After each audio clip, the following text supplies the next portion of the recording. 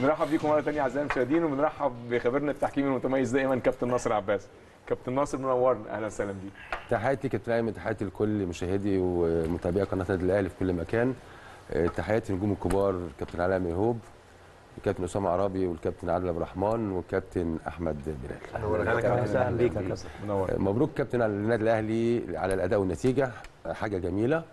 و hard luck لنادي الداخليه كابتن أيمن النهارده هنبتدي بأمين عمر. بس أنا رسالة في البداية قبل بس ما أجيب الحالات. النهارده أمين عمر كابتن علاء بذل جهد كبير جدا جدا. عنده القدرة على القراءة توقع ال counter attack جري في كل الملعب بشكل جميل ورائع جدا جدا يا كابتن علاء. ولكن بقول له أمين خلي بالك هناك فرق بين اللعب العادل والإهمال والتهور الالتحام العادل فرق. ولكن النهارده أمين آه أنت بتمشي اللعب يعني كلام جميل أمين.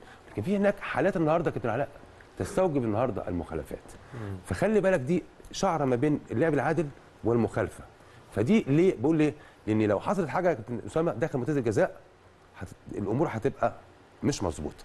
النهارده شفنا حالات عند أمين النهارده تستوجب الحساب المخالف ولكن النهارده خلى اللعبه تواصل النهارده أمين عمل ماتش كويس ولكن دي الحاجة اللي أنا بقولها له طور من أدائك فرق ما بين التحام العادل والإهمال والتهور.